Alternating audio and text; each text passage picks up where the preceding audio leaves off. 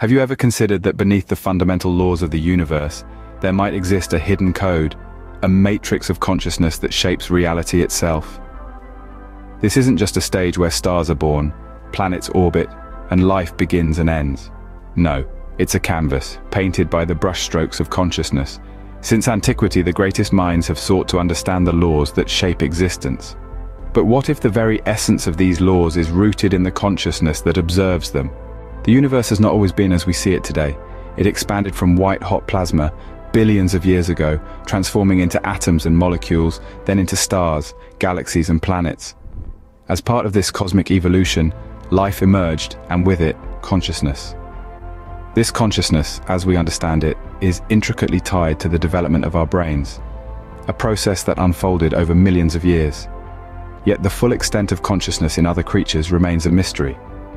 We may ponder, are we the only fully self-aware beings in this vast universe? Or is it more probable that consciousness, in its myriad forms, is scattered throughout the cosmos?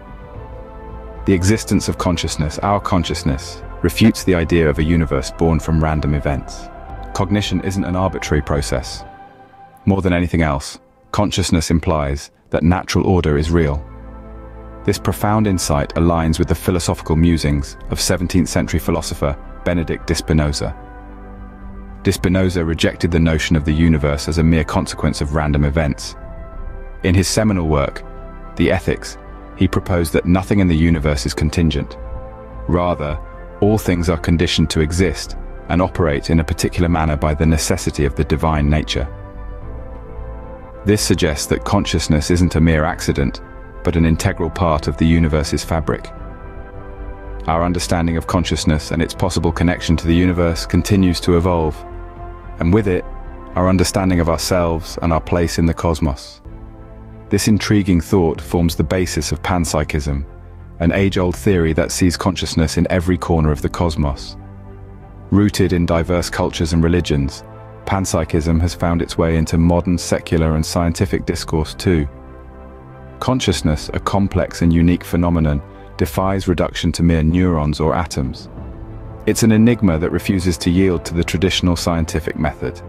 The mysteries of consciousness seem to defy the conventional scientific approach, thus paving the way for alternative theories. Enter the integrated information theory proposed by neurologist Giulio Tononi. Where most would seek to dissect consciousness, Tononi instead takes a bird's eye view, a top-down approach if you will, he defines consciousness as the integration of information, a concept as fascinating as it is perplexing. Imagine any complex system, from a human brain to a bustling city. Tononi's theory assigns each a unique number, an index of consciousness, if you will. This number, indicating the degree of information integration, represents the system's level of consciousness. And here's where it gets intriguing. This definition includes not just humans and animals, but also machines. Yes, you heard it right, machines.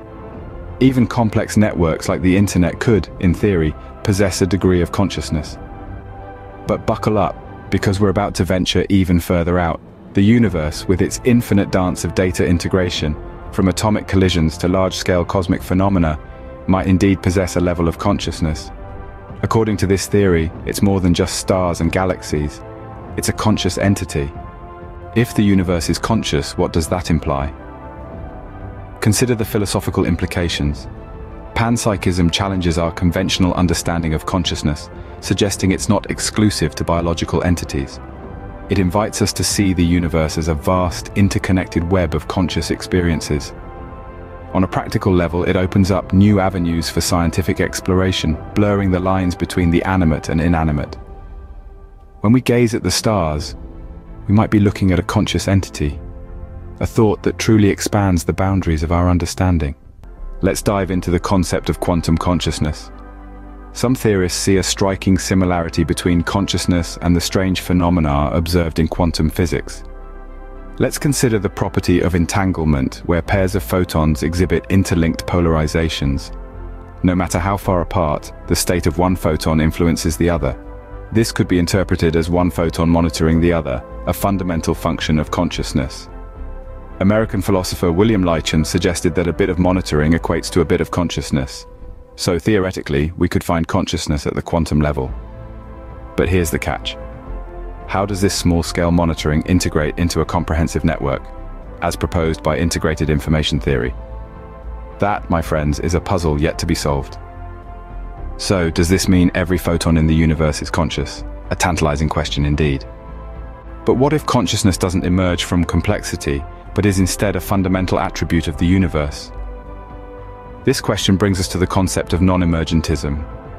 Non-emergentism proposes a rather radical idea, that emergent properties like consciousness simply do not exist. This theory suggests that the basic properties of complex systems can be reduced to their simplest components. In other words, nothing comes from nothing. So if we apply this to consciousness, it would mean that consciousness must exist not only in entire systems, but in their most basic components as well. This is where it gets intriguing.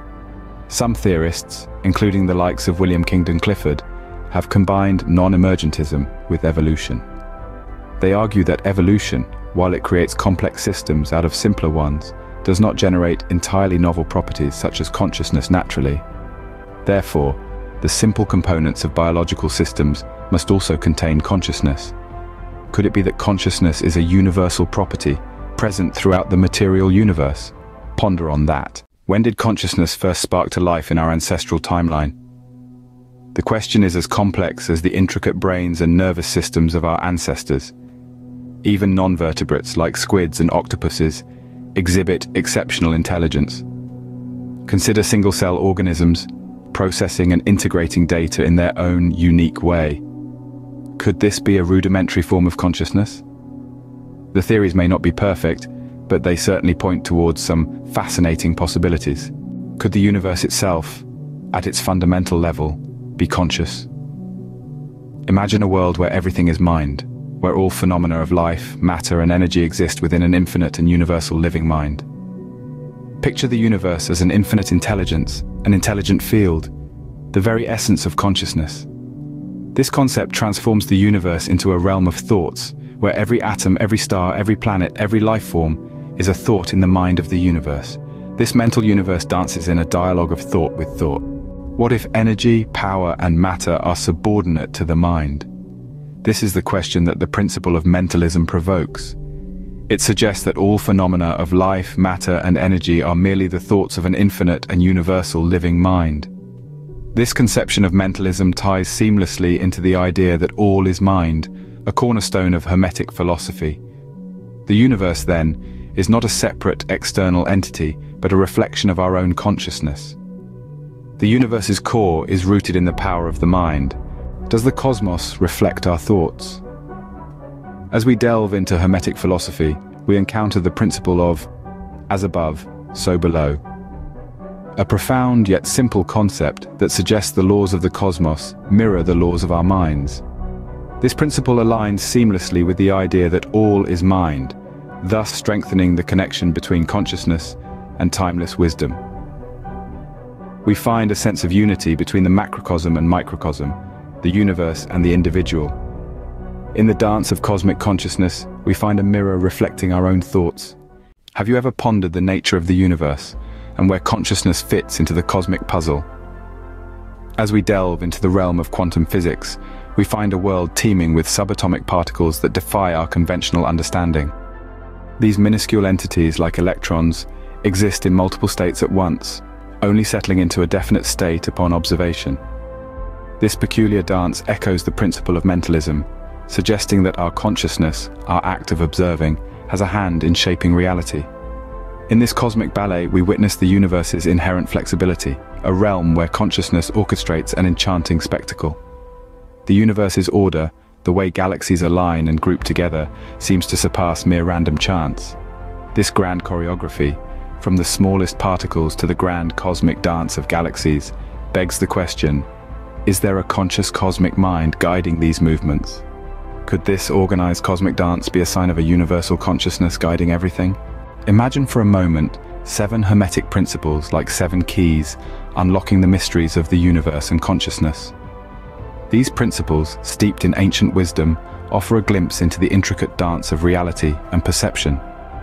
The principle of mentalism, for instance, asserts that all is mind. This profound idea implies that our thoughts are not merely passive observers, but active participants in shaping our reality. It suggests that personal change and growth are within our reach, guided by the mindful choices we make. Then, there's the principle of polarity, a reminder that love and hate are two sides of the same energetic coin. This principle nudges us to view our emotions not as opposing forces, but as varying degrees of the same essence. In this blend of thought, mentalism and hermeticism offer paths for change. Our mind becomes a lab where thoughts shape reality. The laws of the mental universe guide life's twists. Picture a universe, not as an inanimate entity, but as a conscious being. Let's delve into Plato's philosophy, a dichotomy between the fleeting, imperfect material world and the eternal world of ideas. Could our consciousness be deeply intertwined with this universe, rather than separated? As we tread along the boundaries of our understanding, we find ourselves at a crossroads of exploration. Are we mere observers of a cosmic tapestry? Or perhaps our very consciousness weaves the threads of reality? Now let's delve deeper into the quantum realm, where the late physicist John Wheeler proposed an intriguing theory. Wheeler's interpretation of quantum mechanics, known as the participatory anthropic principle, suggests a universe that teeters on the brink of uncertainty until it is observed by a conscious being. This is us. We are the observers, the ones who bring clarity to an otherwise nebulous sea of potentiality. We are the ones who, through our act of observation, shape reality in ways that defy conventional understanding, turning the possible into the actual. It's a bewildering concept, isn't it? That our very consciousness, our awareness, could have such a profound impact on the fabric of reality. Wheeler's proposition resonates with the deep connection between consciousness and existence, echoing the timeless sentiments of Albert Einstein, who envisioned the unifying essence of art and science in awakening a cosmic sense of connectedness. Here we stand, at the precipice of understanding, gazing into the cosmic mirror of our reality. We find an unseen connection, a dance between particles and cosmic consciousness, a reflection of Plato's philosophy of eternal ideas. The universe, vast and potential, snaps into clarity beneath our gaze, a testament to our interwoven existence. Our act of observation might be instrumental in shaping the cosmos, a concept both fascinating and humbling.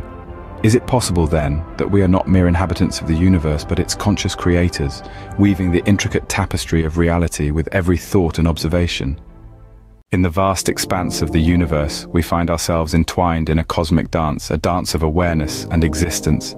The participatory anthropic principle, a theory which suggests our consciousness may play a significant role in shaping the universe, serves as a haunting melody in this interstellar ballet.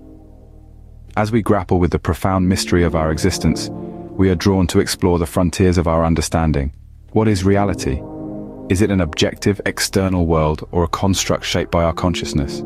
The universe in its majestic complexity might be as we perceive it, or it could hold hidden dimensions beyond our grasp.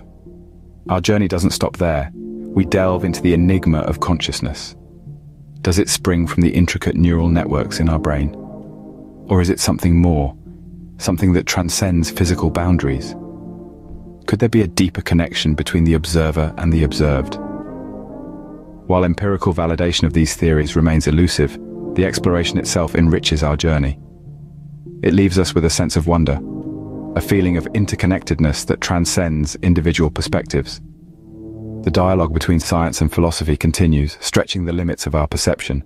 So we dance on in the cosmic ballet, embracing the mystery, the wonder, the exhilarating uncertainty of it all. In this dance, we find not just answers but also questions, questions that propel us forward, that fuel our quest for understanding, that remind us of our place in the cosmos. Welcome to the perplexing realm of quantum mechanics, where classical understanding of cause and effect is routinely challenged. Quantum phenomena, with their uncanny behavior, pose questions that push the boundaries of comprehension. We find ourselves contemplating could consciousness be entwined with these mysteries? Could it be exerting an influence, shaping the very fabric of reality? Such a thought nudges us towards a profound question. Could it be that the very act of observing reality changes it? Dare to ponder, is time an objective constant, or does it bend and warp in response to our perception and experience? As we delve into the nature of time, we find philosophical and scientific perspectives intersecting. Some propose that the past, present, and future might not be a linear sequence, but rather a complex interconnection that defies our conventional understanding. This perspective suggests that our perception of time might in fact shape its reality. Could time be yet another piece of the consciousness puzzle? In the quest to understand reality, we find ourselves questioning, what is the true nature of consciousness? The origin of consciousness is a puzzle that philosophy and science have been trying to piece together. Neuroscience aims to unravel how brain processes birth consciousness, examining the intricate dance of neural networks and biochemical interactions. Yet theories like panpsychism propose a different perspective, suggesting consciousness might be an inherent property of all matter. Does consciousness reside solely in the brain, or could it be an inherent property of all matter? Could our reality be a mere product of our perceptions? This question invites us to consider the boundary between an objective, external world and our personal realm of perception. Philosophical perspectives like idealism propose that reality itself is shaped by our perceptions. Meanwhile, advances in neuroscience and psychology provide a scientific lens, unveiling how our brains construct our perceptions. As we continue to explore the limits of our senses and the nature of perception, we find ourselves ever closer to understanding the intricate mysteries of our reality. Imagine standing at the edge of a precipice, peering into the enigma that is consciousness and quantum mechanics. We're at a junction where the borders of physics, philosophy, and psychology blend into each other, creating a vibrant tapestry of the unknown. Consider the double-slit experiment, a paradox that has baffled minds for decades. Particles behave differently when observed versus unobserved, a phenomenon that teases the edges of our understanding. The debate rages on, does the act of observation collapse quantum probabilities? Advancements in quantum mechanics, experimental physics and quantum information theory are painting a new picture, each stroke revealing more about the intricate dance between consciousness and quantum interactions. As we continue to unravel the quantum world, we find ourselves questioning the nature of our own consciousness and its role in this grand cosmic play. Einstein's theory of relativity shook our understanding of time, suggesting that it dilates based on velocity and gravity. This sparked a philosophical debate, is time an objective constant or a subjective experience? Theories like quantum gravity attempt to reconcile relativity with quantum mechanics, adding another layer of complexity. Delving into the realms of psychology and neuroscience, we uncover how our minds process temporal experiences. As we delve deeper into the mysteries of time, we find our perceptions challenged and our understanding of reality reshaped. Are we, as a species, evolving towards a greater consciousness? Perhaps, it's a tantalizing thought, isn't it? The nature of consciousness, imprinted in the fabric of reality, often eludes our understanding. Yet in those rare, unbiased moments, we glimpse its true essence, hidden in plain sight. As we continue to evolve, we might find ourselves encountering the greater consciousness of the universe itself, a force that goes beyond words and underscores our ignorance of the true nature of nature.